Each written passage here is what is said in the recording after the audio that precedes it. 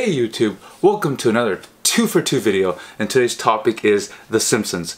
Actually, specifically one of the characters on The Simpsons, Apu.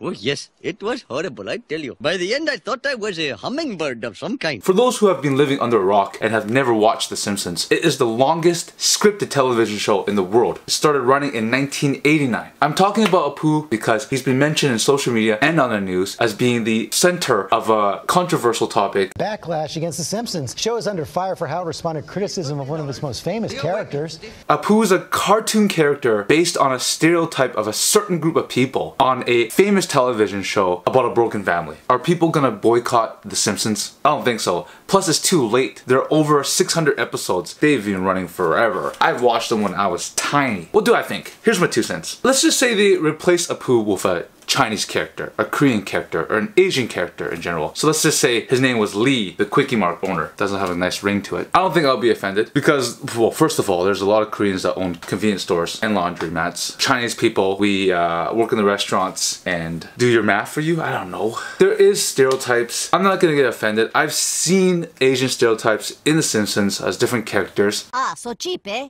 Ah, so cheap to you. が話そうとれ。Hello, Chief.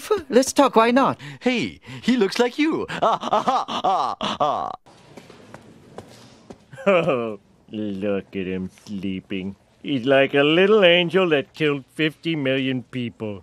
Yes, you are. Yes, you are. With these pogo sticks, we'll finally make it over. 他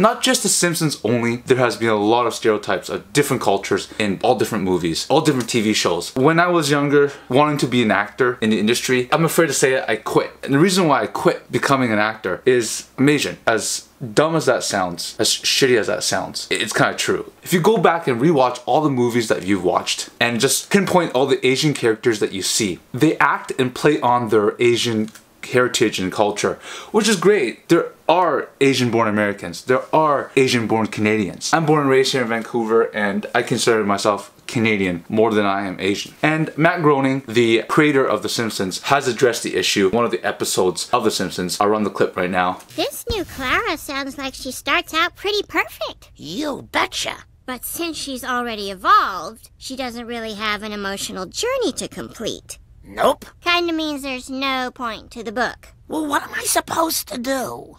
It's hard to say. Something that started decades ago and was applauded and inoffensive is now politically incorrect. What can you do? Some things will be dealt with at a later date. If at all.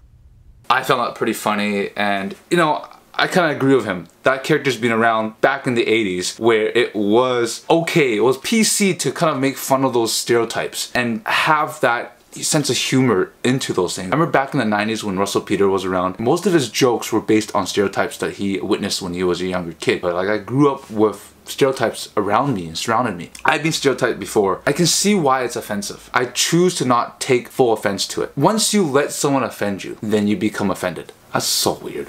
I don't know how that works. How does that work? Why is everybody so offended about these days? Like I remember back in the 90s, everybody had like a hard shell and it took forever to crack, right? Unless you're making fun of your mom. Like those mama jokes. Don't go around making fun of my mom. I'm gonna make fun of your mom. Those were offensive jokes back in the day. My last thought on this is The Simpsons have been running for 27 years. How come these people never complained when Apu first showed up in The Simpsons? You waited 27 years to make a complaint. What's your thoughts on this? Comment below. Thanks for watching. Share, like, subscribe, check out the other videos on the channel, and as always, Imp Squared out. I'm not really offended. Let's just say it was a Chinese Apu, Li Apu, or Apu Li. uh, she has a good ring to it. Okay,